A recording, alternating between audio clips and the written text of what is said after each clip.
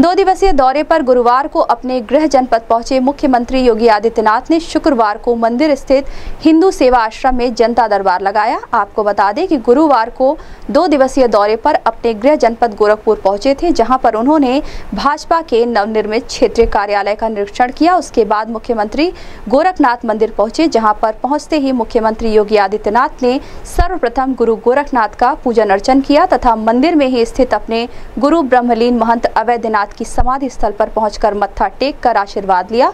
रात्रि विश्राम मुख्यमंत्री ने गोरखनाथ मंदिर में किया। शुक्रवार को सुबह मंदिर का भ्रमण करने के दौरान कालू और गुल्लू को बिस्किट खिलाया। उसके बाद मुख्यमंत्री योगी ने मंदिर में ही स्थित हिंदू सेवा आश्रम में जनता दरबार लगाकर दूर दूर से आए फरियादियों की फरियाद को सुनकर समस्याओं के निस्तारण के लिए संबंधित अधिकारी को आवश्यक दिशा निर्देश दिए। इसके अलावा जनता दरबार में आए छोटे बच्चों को चॉकलेट दिया। वहीं मुख्यमंत्री के हाथों चॉकलेट पाकर बच्चों के चेहरे खिल उठे।